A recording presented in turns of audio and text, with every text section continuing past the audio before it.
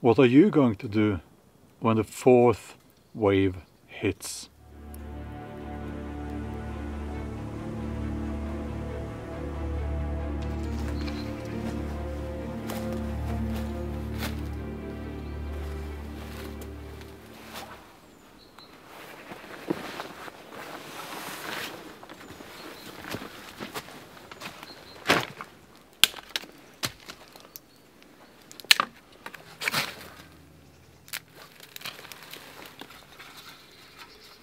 So Norway is entering uh, a new lockdown, well at least the area where I live.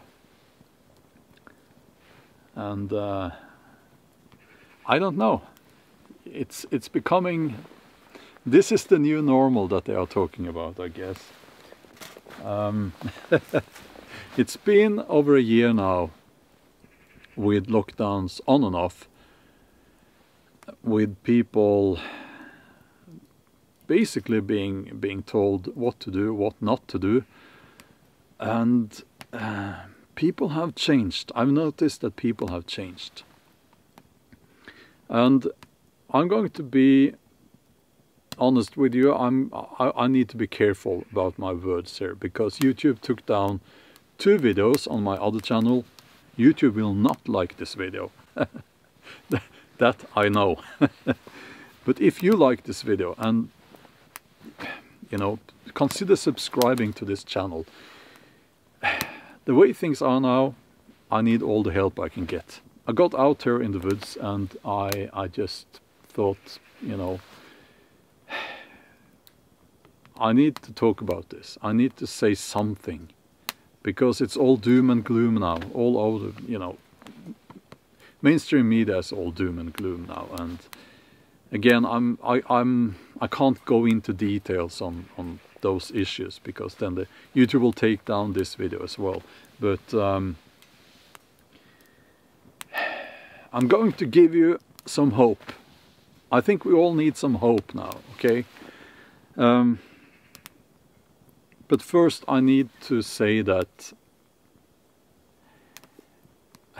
I do not think just so that you know where I stand here. I do not think that these Gates uh, founded uh, big pharma companies are going to save the world. That's not how this is going to play out at all.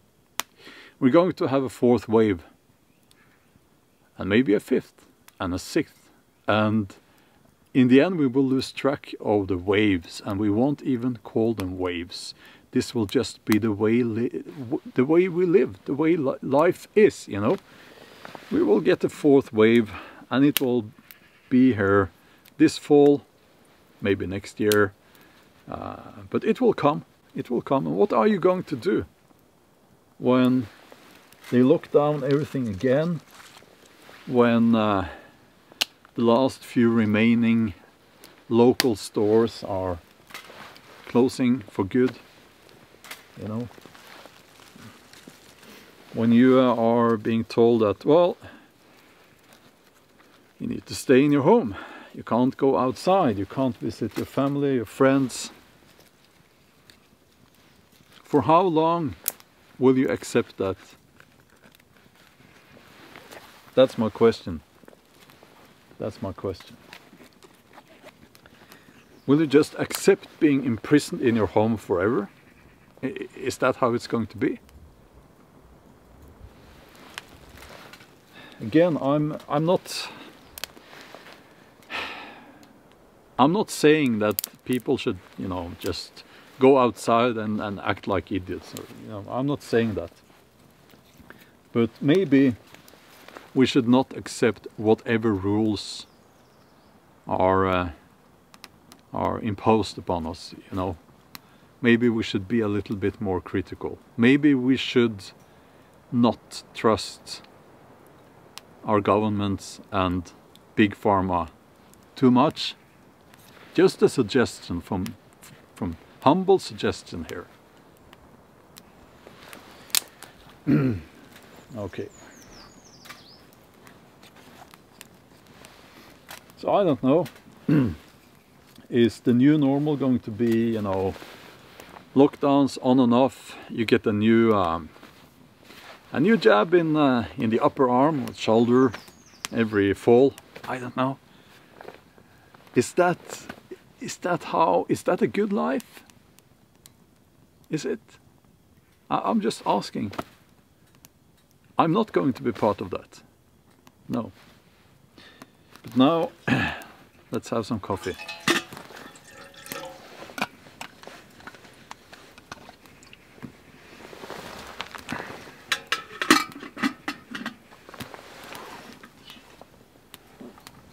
You know, freedom is and always has been ours.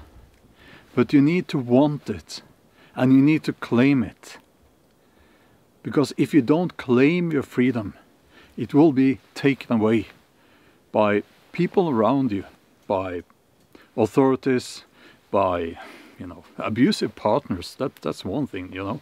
And we're seeing more of that now actually with the lockdowns. And and I get a little bit worried because I I get the sense that there are some people out there who seem to be a little bit too comfortable with all these rules and restrictions. But some people are like that, you know, they it's simple, you know, it's a simple life and it's you're being told what to do. So but that's not how we're supposed to live.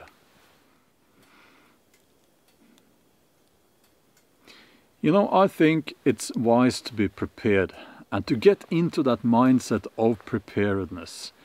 It is a positive mindset. It, it's not, it's actually not a uh, uh, doom and gloom mindset at all. It is a very positive mindset. It comes from a place of love. And when you talk with, you know, preppers, and typically they are sensible people that's my my experience. They are sensible, down to earth people who are, and their their life philosophy and their preparedness comes from a place of love, actually. And uh, you won't get that impression when you watch TV and you see the doomsday preppers and all that. But I need to feed the fire. That's what the mainstream media are doing every day. Have you noticed that?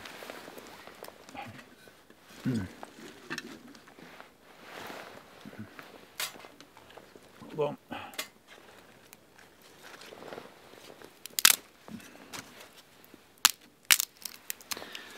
We need to be as self-sufficient and as self-sustained, I hope I'm using the right words here, as possible. And you should start getting into that mindset today. Don't wait. And you can do a lot, you know. Um, everything from storing some food and uh, building up a storage of food to um, working on the on the mental aspect, you know. Um, I think the mental aspect of preparedness is all about what can I do? What can I do to improve this situation? What can I do now? Instead of blaming others, instead, of waiting for someone else to fix things for you. And, and you're, you're, you are resourceful, you're a human being. I mean, we are, well, we're super predators, that, that's one thing, but, you know, I think we all have immense resources within us. And that's why this video is a video about hope actually.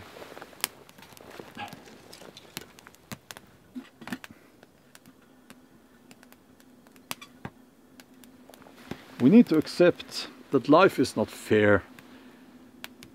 Things won't always go the way you want it to, you know.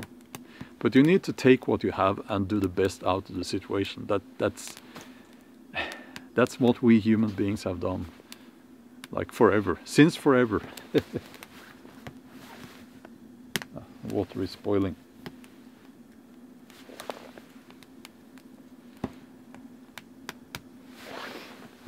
Well, hold on.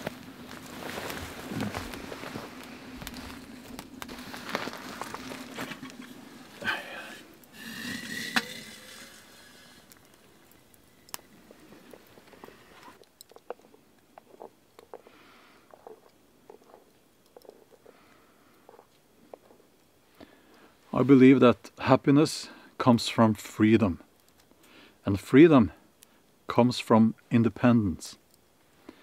So, I guess the question here is what can you do now, today, to be more independent? Now, I'm not saying we should be lone wolves. That's not the kind of uh, independence I'm talking about here.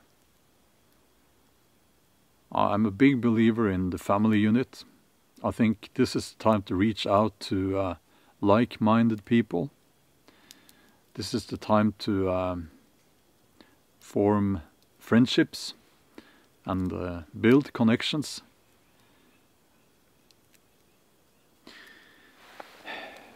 And I think we need to look ahead now. We need to um, understand that we are powerful as human beings. We are powerful. Uh, we're not weak. Uh, we can uh,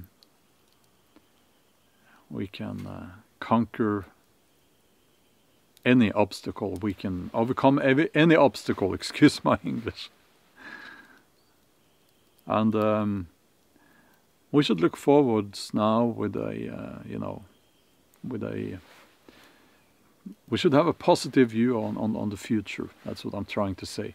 There is, of course, the possibility that after this third wave or sometime in the near future, the narrative from mainstream media and governments and so on will change and uh, I'm I won't even try to predict what they if it changes what it will change into. It doesn't really matter because all that matters is that you know we understand that freedom is ours. Freedom is uh, is there for the taking. but you need to claim it. And you need to want it. Yeah, okay. Okay. I'll just uh, sit here now and finish my cup of coffee. Chocolate coffee as always. And uh, I'll be back with another video in a, in a few days. And uh, if you like this video, give it a thumbs up. Uh, let me know in the comments. And uh, yeah, I think that's all for now. Skål, as we say here in Norway. And have a nice day.